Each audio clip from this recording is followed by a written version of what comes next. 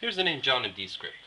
Again, we have a J at the beginning, which can be used in this form, but only when it's at the beginning of the word. Then an O, then an H, and then an N. The H is a horizontal line with a, a line dr dropping off the bottom, and the N is a loop clockwise to the left. So we can connect the simple version. That works. Now, however, this does have one problem.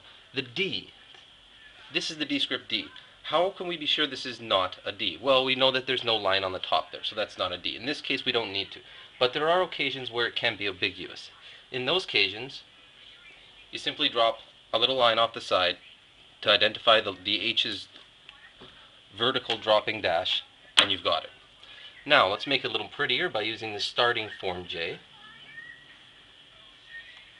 And now, the OH combination, OH, can be combined like so. So we have, and now, if we want to try to make it look a little nicer, we can do it in some more attractive styles.